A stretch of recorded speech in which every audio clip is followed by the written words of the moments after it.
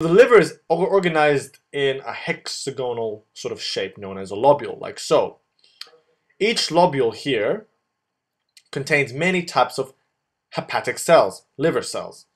In the center of the lobule, we have the central vein, which essentially connects to the hepatic vein, which leaves the liver towards the heart.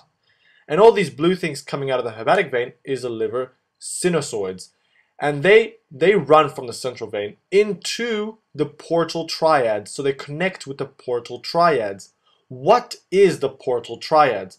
Well, the portal triads consist of three things.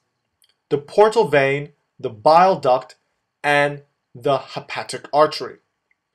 And so the, all these veins connect with each other.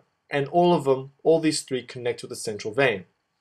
And this is how the liver receives its oxygen, receives its nutrients, and how it sends out bile from the liver into the bile duct. So again, this is known as the triad.